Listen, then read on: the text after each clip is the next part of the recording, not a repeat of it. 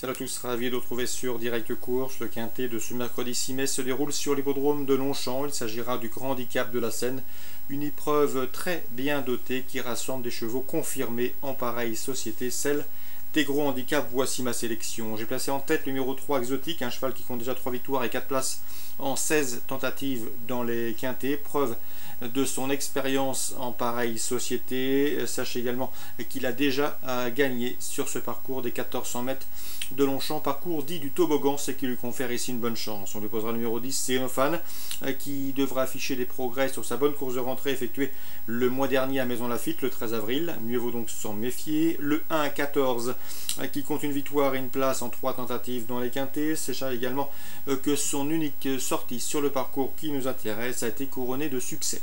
Le 12, Moonlight Gambler, deux places de deuxième en autant de prestations dans les événements. Également une victoire à Maison Lafitte le 21 avril, preuve de sa bonne forme.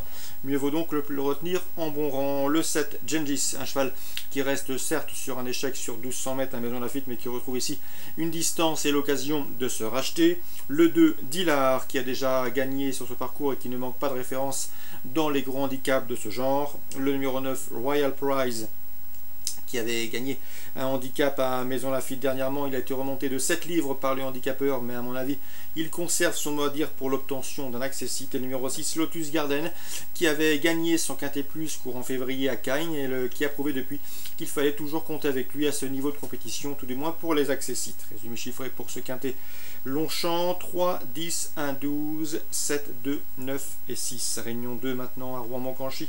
J'aime beaucoup dans la deuxième le 212 Urac de Valfort qui compte déjà 20 succès en seulement 25 courses courues.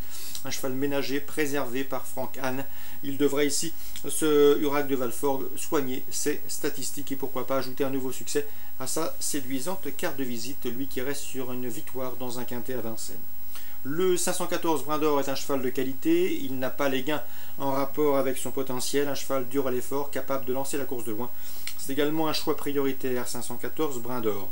Le 610, euh, que j'aime beaucoup également, qui me semble en mesure de bien faire dans ce lot, c'est Alimette de Chenu.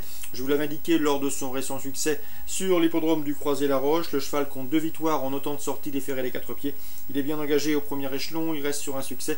De nouveau pieds nuls, peut aller loin. Attention toutefois au 613, As de Muse, qui devra certes lui rendre la distance, qui certes également reste sur une disqualification.